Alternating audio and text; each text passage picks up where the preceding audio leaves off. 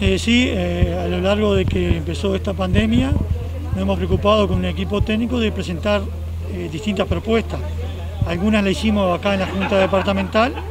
que salió por unanimidad, que fue aquella de, de hacer un kit de limpieza con hipoclorito, recién empezaba el tema, alcohol y, y esas cosas. Luego trabajamos también en una propuesta que hizo Alexis Pérez, en realidad, que fue el que la empezó con los funcionarios y, y, los ediles para hacer un aporte que luego se sumó al, fondo entre la Intendencia y el Centro Comercial. Este, ta, después también trabajamos sobre propuestas sobre teletrabajo, una de las primeras también, cuando recién comenzaba eso, porque la Intendencia estaba en condiciones de hacerlo. Otra fue otra propuesta distinta, este, en su momento fue sobre los residuos este, domiciliarios, de los casos sospechosos, poníamos nosotros, y de, esperemos que no, eventualmente que siga, sirva el protocolo para si llega a haber un caso de, de COVID-19 en, en, el departamento. Este, eso nos contestaron que tenían una eh, que ya estaba haciendo algo la dirección de obra, pero hasta ahora no hemos visto que esté funcionando, ni tampoco hemos buscado en el sitio. Mira, hoy busqué en el sitio y todavía no, he visto nada, ni he visto la resolución. Pero en concreto nosotros hicimos una propuesta para ayudar en ese sentido. Y ahora estamos alargando otra, que, es, este, que va en el sentido de, nosotros ya en la última habíamos manejado, en, el último video que habíamos largado, habíamos manejado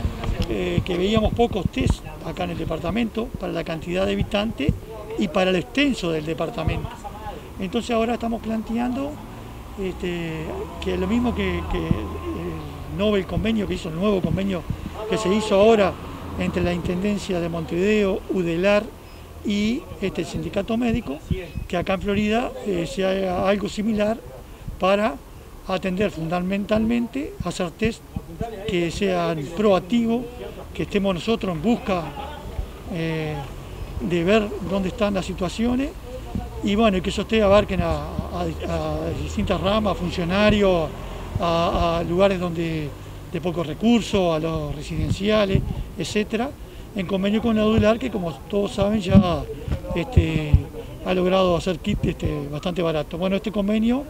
eh, de la Intendencia de Montevideo un convenio marco que acá se podría firmar, eh, bueno, hay que financiar, pero está, Montevideo, la Intendencia de Montevideo, para lo grande que es Montevideo, pone 2 millones de pesos,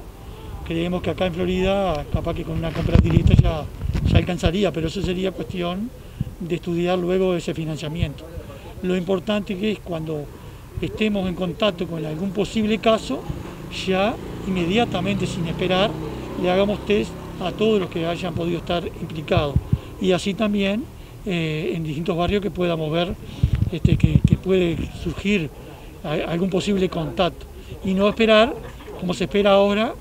este, para ver de, resolver después, a ver si sale o no sale creemos que eso, esa forma probativa nos va a permitir an, eh, la, antelación poder saber. Esto no va en desmedro de lo que hace el Ministerio de Salud Pública, que estamos este, conscientes de que se está trabajando, ni tampoco de lo que está haciendo la Intendencia, que hace esfuerzo para que la pandemia no se extienda. Pero son simplemente aportes que estamos haciendo a la Intendenta de Florida. ¿no?